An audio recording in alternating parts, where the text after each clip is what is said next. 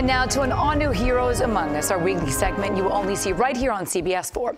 Every Friday in partnership with the Florida Panthers, we put the spotlight on a hero among us, men or women who have gone beyond the call of duty for our country. And today we're meeting U.S. Army Korean War veteran Corporal David Hoviss.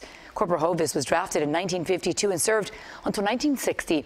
He says he wasn't scared at all because he knew he was doing it for our country. During his time in the service, he was an assistant field radio relay operator in the front lines. He was sent to Korea and remembers it as being cold and a rough place. During that time, Hoviss says they practically lived in a truck ready to send communication at all times, a job he took pride in.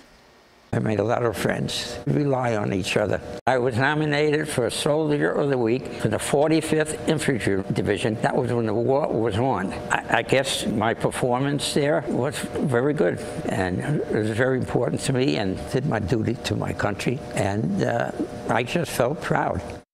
And he should. Corporal David Hoviss was honored at a recent Florida Panthers game. With his family by his side, he proudly stood, taking in the sights and sound as a fan-filled arena, including Panthers mascot Stanley C. Panther, took to their feet to honor this hero among us. On behalf of the Florida Panthers and CBS 4, we would like to say thank you, United States Army Korean War veteran David Hoviss, for your service and dedication to our country.